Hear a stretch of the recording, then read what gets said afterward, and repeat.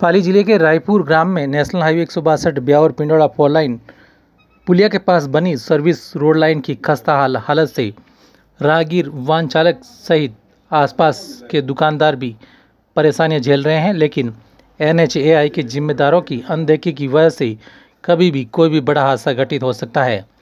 दरअसल, रायपुर में national highway एक सौ बासठ ब्यावर पिंडोड़ा फोर लाइन के पास बनी सर्विस रोड लाइन कई जगहों से डामर टूट चुका और गहरा गड्ढा बना होने की वजह से किस कदर रोड की खस्ता हालत है। ऐसे में इस सर्विस रोड लाइन सड़क से गुजरने वाले बड़े वाहन चालक सहित दोपहिया वाहन चालक व पैदल राहगीरों को भारी समस्याओं से गुजरना पड़ रहा है, लेकिन एन के जिम्मेदारों की अनदेखी की वजह से कभी भी कोई भी बड़ा हादसा घटित हो सकता है।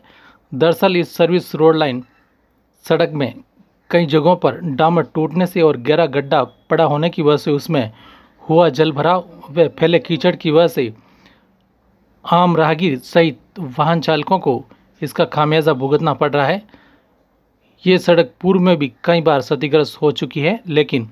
इस सड़क के बार बार क्षतिग्रस्त होने के बावजूद भी एनएचएआई के द्वारा इस सड़क की मरम्मत को लेकर पुख्ता किसी तरह की कोई व्यवस्था नहीं की जा रही है, जिससे इस सड़क की बार बार मरम्मत करने के बावजूद भी ये सड़क फिर से खस्ताहाल हो जाती है और अभी भी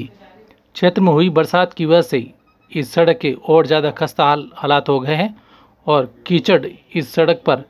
अपना पाँव पसार चुका है और जगह जगह पड़े गड्ढों की वजह से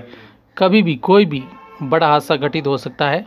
सबसे ज़्यादा परेशानी दोपहिया वाहन चालकों को झेलनी पड़ रही है। इसके अलावा इस सर्विस रोड लाइन सड़क से गुजरने वाले भारी वाहनों में नुकसान होने की भी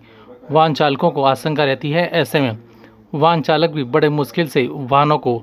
उन्हें निकालना पड़ता है, लेकिन एनएचएआई के जिम्मेदार किस कदर पूरी तरह से अनदेखी बरत रहे हैं, ये सड़क के हालात भी बयां कर रहे हैं। रायपुर में जो हाईवे के पास सर्विस रोड बनी हुई, उसके क्या हालात है? सर, मैं आपको बता दूँ कि रायपुर के हाईवे के पास सर्विस लाइन है, जिसमें गहरे गड्ढे बने हुए हैं और खड्डों में पानी भरा हुआ है और दो दिन से लगातार हुई क्षेत्र में बारिश के कारण सर्विस लाइन पर इतना गड्ढे बने हुए हैं और इसमें पानी बना, भर रखा है और रात के समय और निकलने में वाहन चालकों को इतनी परेशानी हो रही है। कई बार हमने एलएनटी के कंपनी वालों को बता रखा है, मगर आज तक एलएनटी कंपनी ने ना सुनवाई की है, ना और सड़क के इतने ख़राब हालत है कि रात के समय वाहन चालक नहीं निकल सकता है।